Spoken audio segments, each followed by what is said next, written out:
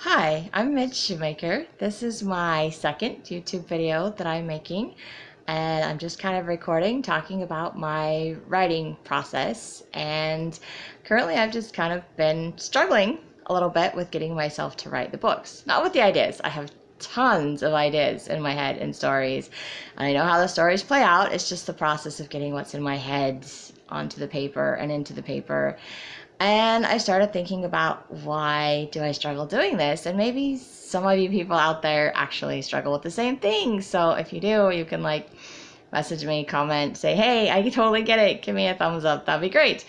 But I was thinking about it and um, I think I just have emotional issues of letting go. Like I hold on to my characters. They're they're a part of me. And sometimes when I'm writing about them, I picture myself being my characters and that's how I I write them. I write the emotions. I feel the emotions that my characters are feeling. So sometimes I just don't want to feel the emotions. So I avoid writing to avoid the process of the emotions. And I also, you know, I've been thinking up some of these stories for over 20 years, some of them.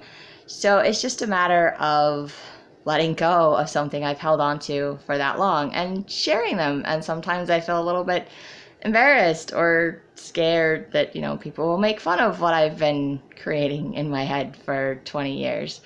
And then it occurred to me that what's in my head is my safe place. When I don't understand a conversation, when I don't know how to deal with a particular situation, when I'm having a bad day, when I'm bored, you know, what whatever it is, I, you know, I feel out of control in my life, I can go to this place in my head. I can create stories, relive stories. I can create a world, a place where I can express how I feel when I can't do it in reality, you know, or say something to someone that irritates the crap out of me that I can't do in real life, or I can kill them off like they're this horrible character. And I'm like, oh, good, they're dead now. But they're not in reality, but it's fun in my head, in my stories. And nobody has to know. It's my safe little, you know, sometimes evil world, right? or, you know, nice world, depending on how you want to look at it. Um, but it's where I go to hide away from the world. It's where I go to process sometimes. Um, and it's it's hard to want to share that. And then I started thinking about if as a writer, why do I want to write my stories? Why do I want to write my book? I'm like, because I want to see it come to life. I want to like let it go. Part of me is like, I need to learn to live in reality. I don't like reality. I like my stories better. So we'll be honest about that.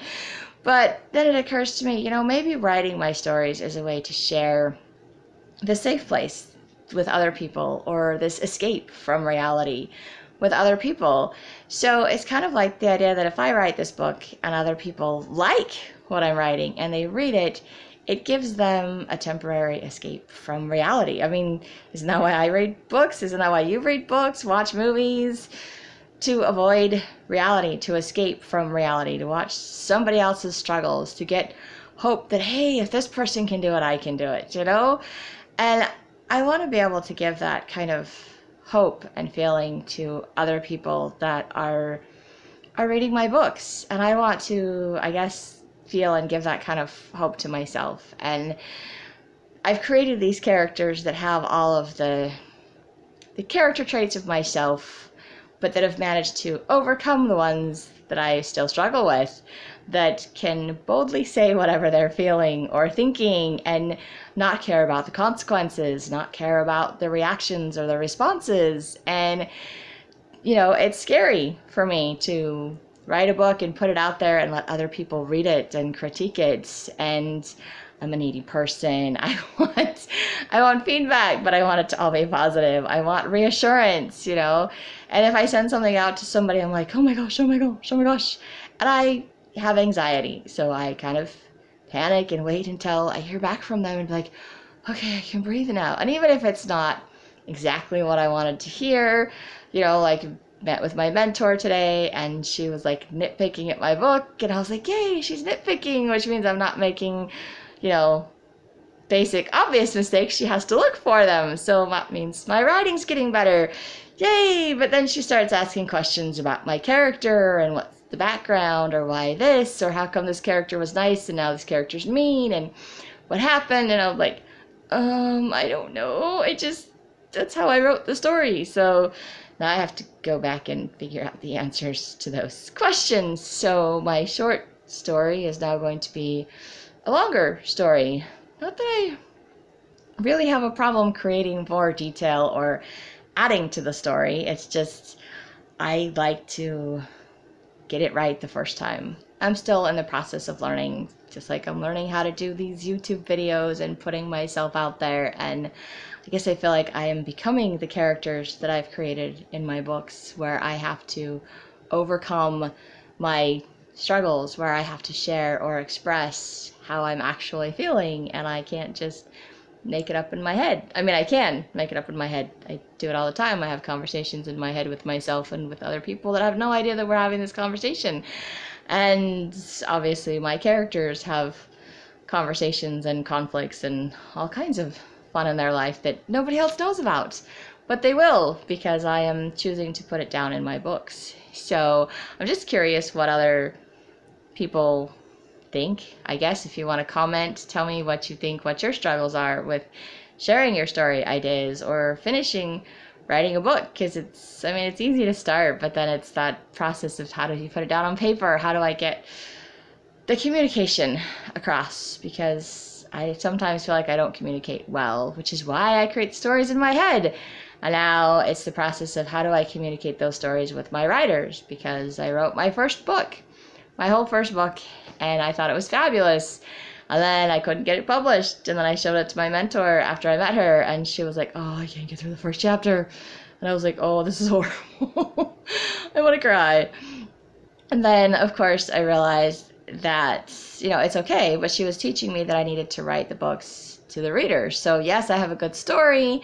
Yes, it's a great idea, but I need to communicate it to the people that are reading it, just like I need to learn how to communicate with people in real life. So these YouTube videos and other my website and things are ways for me to learn how to communicate. Of course, it's social media, so it's different. It's still like my just saying what I'm thinking or feeling, which maybe I should look at this as kind of another safe place, a safe way to share or express how I'm feeling because I can't see anybody's faces when I'm doing this. I can't see their immediate reactions or immediate I can't see your immediate reactions or comments, but I can look at them later when I feel comfortable about it. So it makes it a safer way to interact. And that in of itself helps me to breathe just a little bit. So finding that place where it's safe. It's safe to write. It's safe to share. It's safe to to feel like I have something of value to share with somebody else that maybe someone else is going through what I'm going through or that has their stories and they're afraid to share them and realizing that maybe my story will help someone. Maybe it will inspire someone else to write. Maybe it will, you know, inspire someone else to work through whatever their struggles are. Or maybe it's something they can just relate to. Or it gives them a break from reality, which is what it does for me. I love to not live in reality. so I often I'm daydreaming about something, some place, some character in my head. And the more I do that, the more it inspires me to want to write because I want to put it all down so I don't forget it, or it's like I just get excited about it. And then I want to share what I'm excited about with other people, and hopefully they will be excited about it too. Hopefully you'll be excited about it too. And um, hopefully this video is a little better than the last one, and maybe I'll just keep getting better at making videos like I'm getting better at my writing. And please, again, feel free to comment, make suggestions, or even ask me what anything about my books or anything you want me to talk about. Um, anyway, I that's that's all I have today. Thank you.